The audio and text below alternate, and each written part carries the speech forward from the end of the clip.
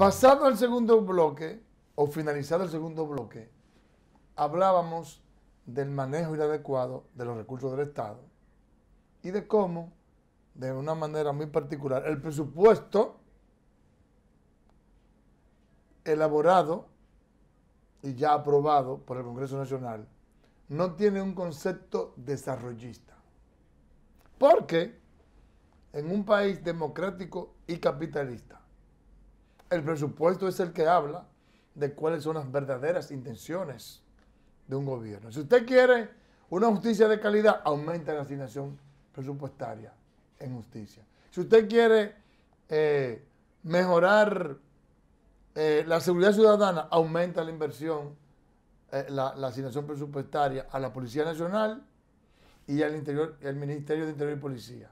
Si usted quiere hacer inversiones importantes en infraestructura, aumenta la asignación presupuestaria a obras públicas, en este caso ahora al Ministerio de la Vivienda, etcétera, etcétera, etcétera. Y dependiendo de la naturaleza, usted dice si ese es un presupuesto politiquero, si es un presupuesto desarrollista, si es un presupuesto equitativo y si es un presupuesto que pretende atender a los y, empezar a solucionar los problemas trascendentales, sempitérnicos, históricos que han afectado a la República Dominicana. Todo parece indicar que el de este año, o el presupuesto del 2023, reitero, ya aprobado por el Congreso Nacional, es un presupuesto electorero. Pero no lo voy a decir yo, digamos que lo explique el presidente Leonel Fernández, que tiene más autoridad y más conocimiento que yo para explicar esto. Veamos. Coincido plenamente con usted, Felipe, de que se trata de un presupuesto reeleccionista. Y cuando usted ve la distribución de las partidas, se hace mayor donde mayor número de electores hay. Por tanto, o sea, premeditadamente, deliberadamente se ha enfocado el gasto en aquellos lugares donde se entiende que hay mayor potencialidad electoral. Igualmente, eh, se aumenta el, digamos, el manejo del presupuesto en manos del presidente de la República. Usted nota que hay un incremento mm, del presupuesto hacia la Liga Municipal Dominicana, con lo cual se pretende conquistar alcaldes y permita que en las elecciones de febrero el gobierno pueda dar un golpe de efecto, sacando un mayor número de alcaldes, alcaldesas, que es lo que puede tener la oposición. O sea, hay una orientación de ese presupuesto hacia la reelección. Pero ese presupuesto al mismo tiempo el 49% es de servicio de la deuda eh, y pago de intereses, con lo cual se queda con el 51% que es lo que usted ve que disminuye el gasto social, el gasto de capital va disminuyendo.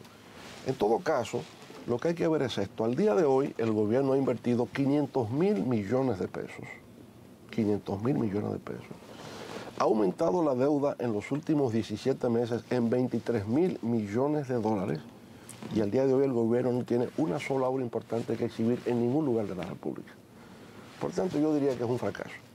En ese sentido, el gobierno ha sido un fracaso, ha creado ilusiones, expectativas, anhelos que tienen las poblaciones y no ha logrado cumplir nada. Promete e incumple. Bueno, ahí está. Yo solamente destacar para que tú entres. Coincido, coincide conmigo sobre lo que yo he dicho el presidente Fernández, sobre lo que yo he dicho en el sentido de que se ha gastado una cantidad impresionante, este gobierno ha manejado una cantidad impresionante de recursos, ha aumentado, ya le puso número, 23 mil millones de dólares, más de 500 mil millones de pesos, y a nivel de infraestructura no se ven, y que habiendo, y que a pesar de que hemos tenido que enfrentar una crisis económica y de que hemos tenido que enfrentar el tema de la pandemia, con esos recursos que ha manejado el gobierno, debió haber suficientes recursos para hacer, tener una gran impronta en inversión de infraestructura y no se ve. Entonces eso se llama ineficiencia. La observación tuya y la del presidente Fernández no es solamente eso. La gran queja se manifestó en, la, en el Congreso. con los diputados y los senadores que se han, han expresado su protesta por la disminución de lo que van a ser las inversiones en los diferentes pueblos. Y de manera extraña ha habido una modificación con lo que tiene que ver los recursos de la Liga Municipal Dominicana y con el incremento al presupuesto de la Presidencia de la República. De lo que va a venir que las asignaciones que se puedan producir van a aparecer como una asignación del presidente, de la buena voluntad. Y lo que ha habido una reducción para pueblos como San Cristóbal y para todos los lugares.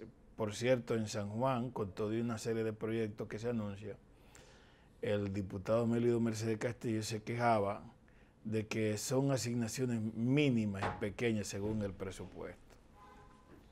Y a propósito de San Juan, con el tema este de la minera, de, de los romeros, parece que esa explotación minera se va a dar porque en el gobierno como que hay un interés.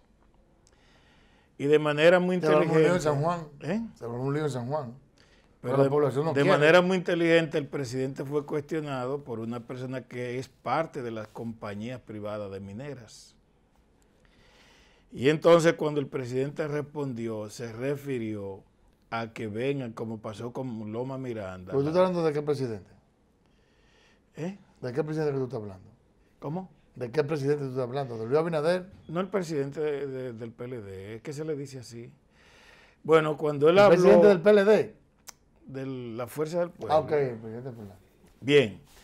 Entonces, ¿qué resulta? Con Loma Miranda, ¿qué se hizo? Se acudió a técnicos de la ONU, técnicos internacionales. Entonces, en San Juan hay una campaña, y es en el país, como que ya con eso Leonel Fernández lo que está acordando que los proyectos como lo quiere la compañía Golques y con la evidente manifestación que tiene el Ministerio de Energía y Minas y el gobierno, según parece, porque los hoy legisladores y gente del PRM que antes incluso hicieron manifestaciones con la población, esa gente se ha virado. Y entonces esta empresa ha decidido hacer una mayor inversión, la, la Golques, y evidentemente quiere una opinión favorable y la queja de incluso de entidades que tienen que ver con esa lucha. En el caso de San Juan se ha querido proyectar como un asunto del senador. Originalmente ese proyecto lo ha estado encabezando gente de los productores agrícolas. Incluso su máximo dirigente fue candidato a senador por el PRM. Pero evidentemente que la gente del gobierno ha cambiado y allá eh, el audio incluso está ahí evidentemente, fíjense el comportamiento del medio ambiente y del gobierno con el caso de las barcazas de Asua, que fue favorecerlo en contra de todos los intereses. En definitiva, creo que es el planteamiento que hace Leonel Fernández para que si de producirse cualquier estudio sea avalado por técnicos de la ONU pertenecientes a la PNUD y que tengan la suficiente confianza para que el informe, el veredicto, pueda darse de manera objetiva. Bueno, ¿Tuviste la caravana policial de los Carrizo? Póngame la caravana ahí. Hay muchas caravanas, hay incluso también otra ideológica. El sonido, que le ponga el sonido.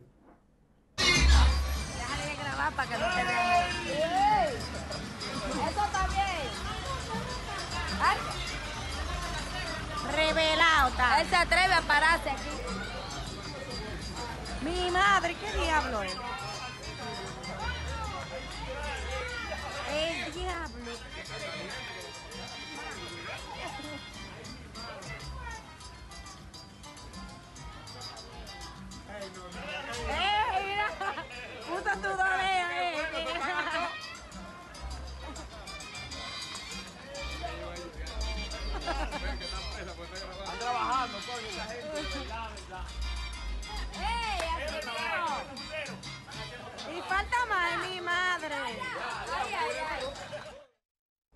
Bueno, eso es debido a, a lo que pasó en los Alcarrizos, donde un enfrentamiento de la policía con delincuentes fallecieron seis.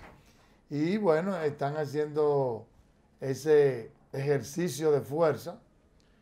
Pero yo solamente quiero destacar que primero, yo estoy de acuerdo, ahora, ya van más de 25 en menos de mes y medio.